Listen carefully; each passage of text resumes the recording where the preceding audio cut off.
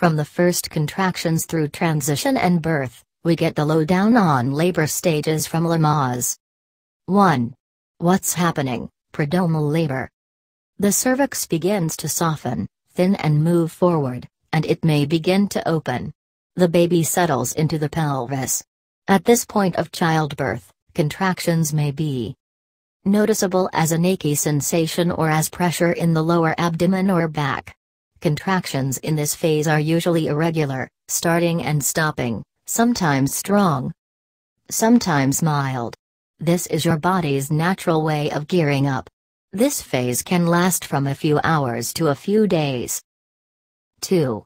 What is happening? Early labor, latent phase. The cervix continues to thin out and open, dilating to 3 or 4 centimeters. Labor is meant to be gradual, so this phase may take quite a while, usually about two thirds of the total labor time. Over a period of several hours, contractions will become longer, stronger and more regular, about 5 minutes apart, each one lasting 25 to 45 seconds but these times can vary. A pinkish vaginal discharge, called show, usually increases as labor progresses. 3. What helps during early labor? It can be hard to believe that this is it. Take time to settle down and work with the labor, change positions and go with what feels best. Once again, the best thing to do is to take care of yourself.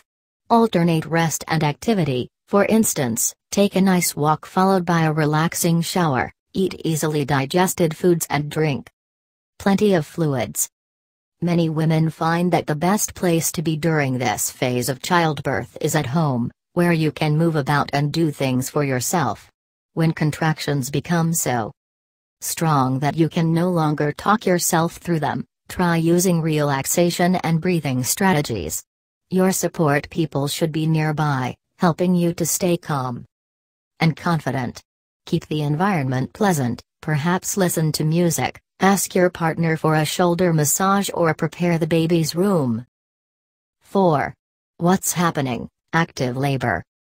Contractions continue to become longer and stronger, until they're eventually about 3 minutes apart and last for about a minute or more. Again, times may vary. During this phase, which on average takes from 2 to 6 hours, the cervix effaces and dilates to about 8 centimeters. Women in active labor usually get very focused as the hard work begins. 5. What helps during active labor? Now labor has real momentum. Listen to your body and develop a rhythm to work with it instead of fighting against or tensing up with contractions. Do something active. During the contractions, such as breathing in a pattern or moving around, and rest between contractions. As the strength of the contractions increases, so does your need for support. All present should focus their attention on you. Changing positions frequently not only helps you stay more comfortable, but also enhances progress. The environment can influence your labor. Make it peaceful and personalize it with music and dim lights. 6. What's happening? Transition phase. The cervix finishes dilating and effacing. Contractions are now powerful and efficient, so this phase is usually quite short, less than an hour. Some women feel nauseous, shaky, restless or irritable during this phase of childbirth. 7. What's happening? Birth. Your body shifts from dilating to pushing. The baby makes his way down through the pelvis and birth canal. This phase can last from 15 minutes to several hours. Although it may take several contractions after full dilation to be noticeable, most women get an urge to bear down.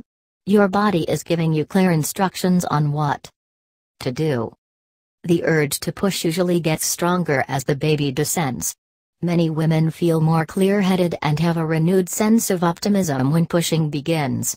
Just before the baby is born, you may feel a burning, stinging, stretching sensation at the vaginal opening, a sure sign that you're almost there.